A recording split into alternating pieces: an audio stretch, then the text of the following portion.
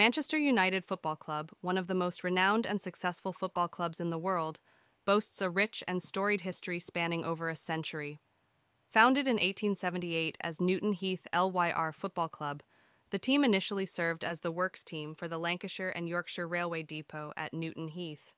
The club adopted its current name, Manchester United, in 1902, following financial struggles and a change in ownership.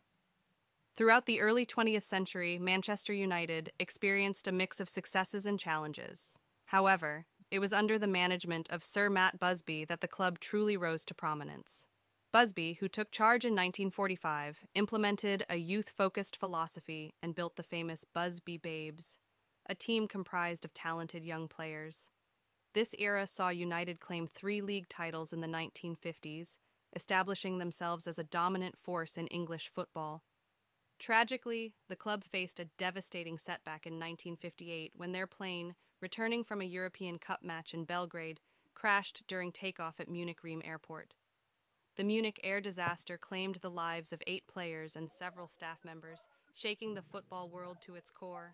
Despite the immense loss, Manchester United, with the resilient spirit of Manchester United Football Club, one of the most renowned and successful football clubs in the world, boasts a rich and storied history spanning over a century.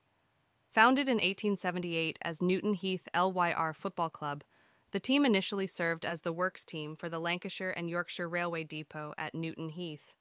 The club adopted its current name, Manchester United, in 1902, following financial struggles and a change in ownership. Throughout the early 20th century, Manchester United experienced a mix of successes and challenges. However, it was under the management of Sir Matt Busby that the club truly rose to prominence. Busby, who took charge in 1945, implemented a youth focused philosophy and built the famous Busby Babes, a team comprised of talented young players. This era saw United claim three league titles in the 1950s, establishing themselves as a dominant force in English football.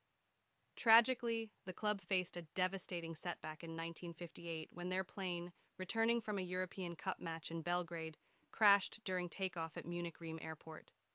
The Munich air disaster claimed the lives of eight players and several staff members, shaking the football world to its core. Despite the immense loss, Manchester United, with the resilient spirit of